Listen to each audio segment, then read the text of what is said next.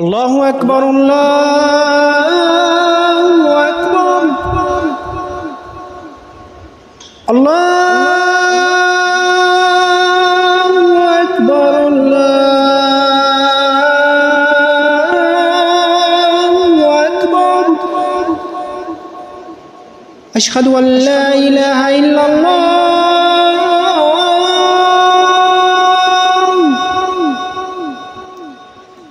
أشهد أن لا إله إلا الله.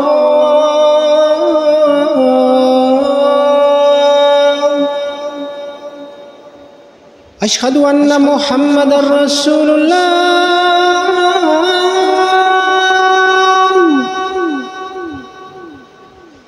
أشهد أن محمد رسول الله.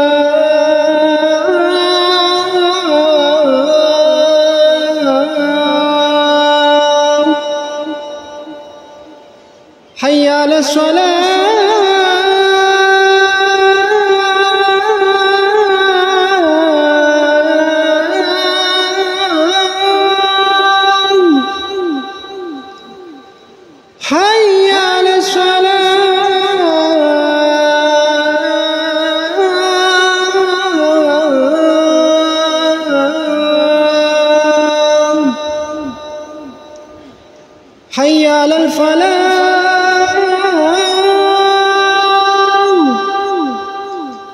حي على الفلاح.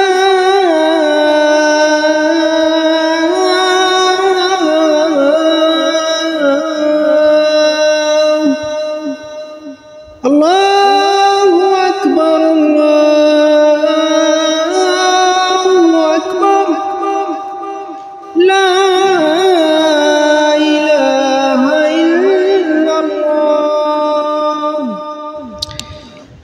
أعوذ بالله من الشيطان الرجيم. بسم الله الرحمن الرحيم.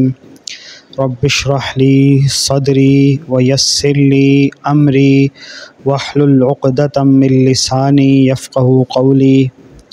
اللهم أرنا الحق حقا وارزقنا اتباعه، وأرنا الباطل باطلا وارزقنا اجتنابه. ربنا آتنا من لدنك رحمة وهيئ لنا من أمرنا رشدا. ربنا إننا سمعنا مناديا ينادي للإيمان أن آمنوا بربكم فآمنا.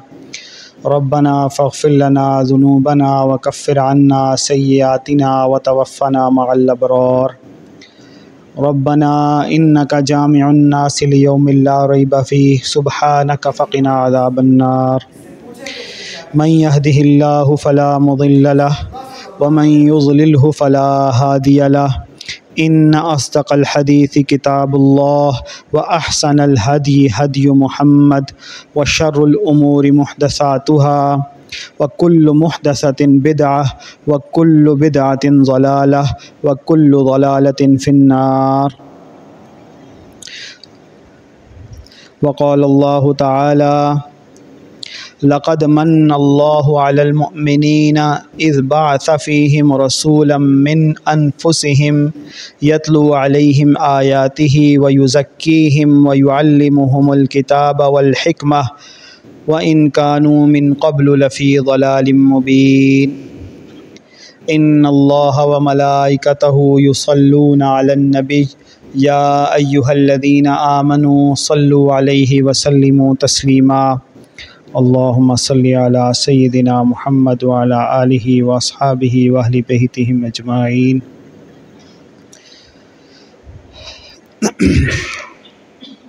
انسانوں کے لیے اتنا ہی کافی تھا کہ اللہ ان کو یہ کہہ دیتا کہ والعصر ان الانسان لفی خسر۔ قسم ہے زمانے کی کہ بے شک انسان بہت بڑے خسارے میں ہے۔ الا الذین آمنوا، سوائے اس کے کہ جو لوگ اللہ پر ایمان لائیں، اس کے ساتھ کسی کو شریک نہ ٹھہرائیں۔ و عامل الصالحات اور نیک کام کریں۔ و تواصو بالحق، خود بھی نیک اعمال کریں اور حق بات کے اوپر قائم رہ کر اس کی تلقین بھی کرتے رہیں۔ و تواس و اور خود بھی صبر کے اوپر قائم رہ کر صبر کے اوپر تلقین بھی کرتے رہیں موٹیویٹ بھی کرتے رہیں، یادیانی بھی ایک دوسرے کو کراتے رہیں۔ لیکن اللہ تعالیٰ فرماتا ہے، لقد من اللہ علی المؤمنین۔ اللہ نے بہت بڑا احسان کیا ایمان والوں کے اوپر۔ اذبا صفیم رسول من انفسہم جب اللہ نے انہی میں سے ایک کو اپنا رسول بنا دیا، انہی میں سے ایک رسول مقرر فرما دیا۔ یتلو علیہم آیاتی ہی اور ان رسول کی شان یہ ہے، ان رسول کو اللہ نے جس کام پہ لگایا ہے، وہ کیا ہے؟ یتلو علیہم آیات ہی کہ وہ ان کے درمیان موجود رہتے ہیں، انہی میں سے ہیں۔ کوئی ایسے بادشاہ نہیں ہے کہ جن کے پاس جانے سے خوف آتا ہو، جن کے پاس بیٹھنے کے لیے اپوائنٹمنٹ کی ضرورت ہو، بلکہ انہی میں سے ایک شخص ہیں۔ اور وہ کیا کرتے ہیں؟ ان کے درمیان موجود رہتے ہیں۔ ان کے معاملات میں انوالو رہتے ہیں، ان کے سامنے اگزامپل بن کر موجود رہتے ہیں۔ اور کیا کرتے ہیں؟ یتلو علیہم آیات ہی اور اللہ تعالیٰ کی آیتیں ان کو تلاوت کر کے سناتے رہتے ہیں وربلی تلاوت کر کے سناتے رہتے ہیں۔ اور پھر یہی نہیں وہ یوزک کی ہم ہر معاملے میں ان کی اصلاح کرتے رہتے ہیں، ان کے تزکیے کا بندوبست کرتے رہتے ہیں۔ ان کی زندگیوں کو سنوارنے کا بندوبست کرتے رہتے ہیں ہر معاملے میں۔ ان کے سامنے خود بھی اگزامپل بن کے رہتے ہیں اور مومنین کو بھی گائیڈ کرتے رہتے ہیں کہ اپنی زندگی کو کیسے سنواریں۔ وَيُعَلِّمُهُمُ الْكِتَابِ۔ صرف تلاوت کر کے نہیں سناتے اللہ تعالیٰ کی آیات، بلکہ اللہ کی کتاب کو سکھاتے بھی ہیں۔ تربیت بھی کرتے ہیں، تربیت بھی کرتے ہیں، تعلیم بھی دیتے ہیں، ہر معاملے میں اس کو امپلیمنٹ کر کے بھی دکھاتے ہیں۔ والحکمہ، اور ان کو حکمت کی باتیں سکھاتے ہیں، عقلمندی کی باتیں سکھاتے ہیں، قوت فیصلہ جو اللہ تعالیٰ کی طرف سے ایک بہت بڑی نعمت ہوتی ہے، وہ اللہ کی طرف سے مومنین کو ٹرانسفر کرتے رہتے ہیں۔ وہ ان قانو من قبل لفی غلال مبین۔ حالانکہ معاملہ یہ تھا کہ تم سب جو ہو، اس سے پہلے بہت بڑی گمراہی میں پڑے ہوئے تھے۔ اللہ نے لقد من اللہ علی المومنین۔ اللہ نے بہت بڑا احسان کیا۔ ایک تو انسانوں میں ایک رسول پیدا فرمائے، پھر اس میں سے جن لوگوں کو اللہ نے ایمان لانے کی توفیق عطا فرمائی، مومن بنایا ان کے اوپر اللہ کا خاص احسان ہوا۔ احسان یہ ہوتا ہے کہ جو بنتا نہیں تھا۔ من نہ وہ چیز ہوتی ہے کہ جو ایک فیور دی جائے، جو فیور بنتی نہیں تھی۔ جب السط و بربکم کا وعدہ اللہ نے لے لیا تھا تو وہ کافی ہونا چاہیے تھا کہ انسان یاد رکھیں۔ جب انہوں نے نہیں یاد رکھا تو اللہ نے انبیاء اور رسول بھیجے۔ جب پھر بھی وہ بھولتے رہے تو اللہ تعالیٰ نے رسول اللہ صلی اللہ علیہ وسلم کو خاتم النبیین بنا کر بھیج دیا۔ اللہ نے بہت بڑا احسان کیا۔ پھر یہی احسان نہیں کیا، اتنا بھی تو ہو سکتا تھا کہ اللہ تعالیٰ ان کو ایک پروٹوکول والا بنا دیتے، بلکہ اللہ تعالیٰ نے انہی میں سے ایک شخص کو، انہی میں سے ایک صاحب عزت، صاحب مقام کو اللہ تعالیٰ نے رسول بنا کر بھیج دیا، جو ان کو نہ صرف آیتیں سناتے رہے، بلکہ ان کا کا تزکیہ بھی کرتے رہے، ان کو گناہوں سے بھی بچاتے رہے، ان کی اصلاح بھی کرتے رہے، ان کو تعلیم بھی دیتے رہے، ان کی تربیت بھی کرتے رہے اور انہیں حکمت بھی سکھاتے رہے، عقلمندی بھی ٹرانسفر کرتے رہے اللہ تعالیٰ کی طرف سے۔ اور اللہ تعالیٰ کا یہ بہت بڑا احسان ہوا، بہت بڑا احسان ہوا، بہت بڑا احسان ہوا، جس کا ادراک شاید مجھے اور آپ سب جتنے یہاں بیٹھے ہوئے ہیں، ان سب کو اس قدر نہیں ہے جس قدر ہونا چاہیے کہ اللہ تعالیٰ نے مجھے اور آپ کو گناہوں اور دنیا کی طلب والی زندگی سے نکالا اور اللہ کا بہت بڑا احسان ہوا کہ اللہ نے اپنی حکمت، اللہ تعالیٰ نے اپنی جانب سے حکمت، اپنی جانب سے علم، اپنی جانب سے تزکیہ ہم میں ٹرانسفر کیا۔ اللہ کا بہت بڑا احسان ہوا جس کا مجھے اور آپ کو اس طرح سے شاید ادراک نہیں ہے جس طرح سے ہونا چاہیے تھا کہ اتنی بڑی نعمت اللہ تعالیٰ نے آپ سب تک پہنچا دی۔ اللہ کا اتنا بڑا احسان ہوا کہ اللہ نے اتنی بڑی رحمت، ہدایت کی رحمت اور آخری دور میں اللہ کی زمین پر اللہ کا نظام قائم کرنے کا سلسلہ جو شروع کیا اللہ تعالیٰ نے اس کے لیے مجھے اور آپ لوگوں کو چن لیا۔ اللہ کا بہت بڑا احسان ہوا میرے اوپر کہ اللہ نے اس کام کے لیے مجھے چن لیا۔ اللہ کا بہت بڑا احسان ہوا کہ اللہ نے اس کام کے لیے میرے اوپر احسان فرمایا اور یہ حق کا رستہ میرے سینے پہ کھولا۔ اور اللہ کا بہت بڑا احسان ہوا کہ اللہ نے وہ پھر حق اور خیر آپ سب تک بھی پہنچائی۔ اور اللہ کا بہت بڑا احسان ہے تمام دنیا کے انسانوں پر کہ جن کے پاس قرآن مجید جیسی نعمت ہونے کے باوجود رسول اللہ صلی اللہ علیہ وسلم کی نبوت و رسالت اور آپ صلی اللہ علیہ وسلم کی احادیث کا سلسلہ موجود ہونے کے باوجود اور امام مہدی کا وعدہ موجود ہونے کے باوجود اللہ تعالیٰ نے بالکل ہم عام لوگوں میں یہ خیر پہنچا دی۔ اور پھر ہمارے ذریعے اللہ تعالیٰ سارے انسانوں کو دعوت دے رہا ہے کہ اس حق کی طرف، اس خیر کی طرف آ جاؤ۔ آج تو شاید انسانوں کو، مجھے اور آپ کو بھی اس احسان کی، اس احسان کے مقام اور فضیلت کا احساس نہیں ہو رہا، لیکن کل شاید ہو جائے۔ وہ وقت شاید آ جائے انشاءاللہ اللہ تعالیٰ کی توفیق سے، اللہ تعالیٰ کی رحمت سے۔ کہ جب انسانوں کو اس چیز کا ادراک ہو جائے، سب کو نہ صحیح کچھ کو کچھ کو نہ صحیح چند کو۔ کہ اللہ تعالیٰ نے کتنی بڑی نعمت سے ہمیں نواز دیا تھا، جس کے ذریعے اللہ تعالیٰ نے ہمیں دنیا میں بھی عزت بخشی اور آخرت میں بھی اللہ تعالیٰ عزت بخشے گا۔ اللہ تعالیٰ ہمیں اس احسان کا ادراک کرنے کی توفیق عطا فرمائے اور اس کا حق ادا کرنے کی توفیق عطا فرمائے۔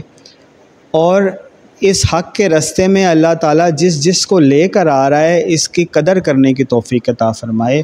میں سب سے پہلے اللہ تعالیٰ سے اپنے لیے دعا کرتا ہوں کہ اللہ، میری نیت میں خلوص عطا فرما۔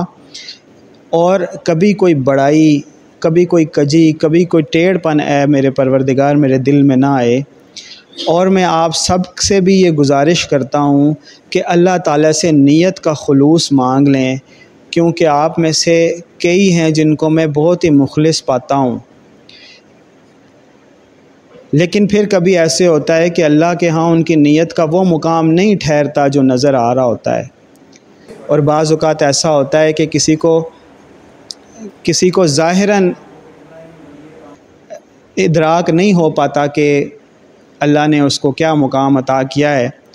لیکن اللہ کے ہاں اس کے اعمال اور اس کی نیت کا خلوص کا مقام بہت بڑا ہوتا ہے۔ کہیں ایسا نہ ہو کہ ہم میں بہت آگے بڑھنے والے، عمل میں آگے بڑھنے والے بہت پیچھے رہ جانے والوں میں سے ہو جائیں۔ کہیں ایسا نہ ہو، کہیں ایسا نہ ہو کہ سستی اور کاہلی کرنے والے اللہ کے ہاں کسی سزا کے، کسی ڈلے کے مستحق قرار پائیں۔ کہیں ایسا نہ ہو کہ وہ بدل دیے جائیں۔ پہلے بھی اللہ تعالیٰ لوگوں کو لاتا رہا، لیکن وہ بدل دیے گئے۔ اللہ تعالیٰ سے دعا ہے کہ ان میں سے جو جو حیات ہیں، اللہ ان سب کو لے آئے، ان کو وہ مقام اور مرتبہ عطا فرمائے کہ جو اللہ تعالیٰ نے امام مہدی کے اولین ساتھیوں کو عطا کرنا ہے۔ اور اللہ تعالیٰ سے دعا ہے کہ جتنے یہاں موجود ہیں، ان میں سے کوئی بھی ایسا نہ ہو کہ جن کے دل بدل دیے جائیں۔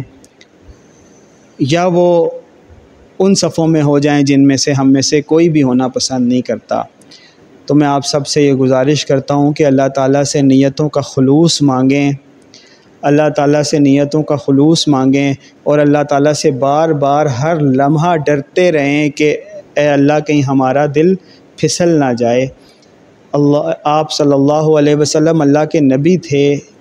اللہ کی طرف سے گارنٹیز لے کر آئے ہوئے تھے، لیکن آپ صلی اللہ علیہ وسلم بار بار دعا کرتے تھے، یا مقلب القلوب ثبت قلبی اعلیٰ دینک، یا مقلب القلوب ثبت قلبی اعلیٰ دینک، یا مقلب القلوب ثبت قلبی اعلیٰ دینک۔ میں اور آپ اس دعا کو دل سے مانگیں کہ یا اللہ کہیں ہم پھسل نہ جائیں، یا اللہ کہیں ہم بدل نہ دیے جائیں۔ یا اللہ ہماری سستی اور کاہلی، یا اللہ کہیں ہماری کام میں آڑے نہ آ جائے اور یا اللہ کہیں ہماری منافقت نعوذ باللہ ہمارے دلوں کے اندر نہ آ جائے، ہمارے اوپر غالب نہ ہو جائے، کہیں شیطان اور دجال ہمارے اوپر غالب نہ آ جائیں، کہیں ہمارے نفس ہمیں یا اللہ تیرے رستے سے نہ ہٹا دیں۔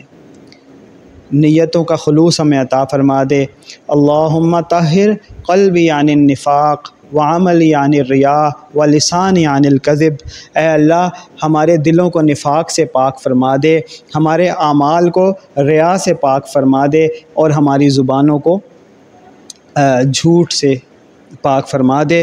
اللہم طاہر قلبی عن النفاق و عملی عن الریا و لسانی عن القذب اللہ تعالی ہم سب کو حق کے اوپر استقامت عطا فرمائے۔ اللہم صلی علی سیدنا محمد وعلی آلہ و اصحابہ و اہل بیتہم اجمعین۔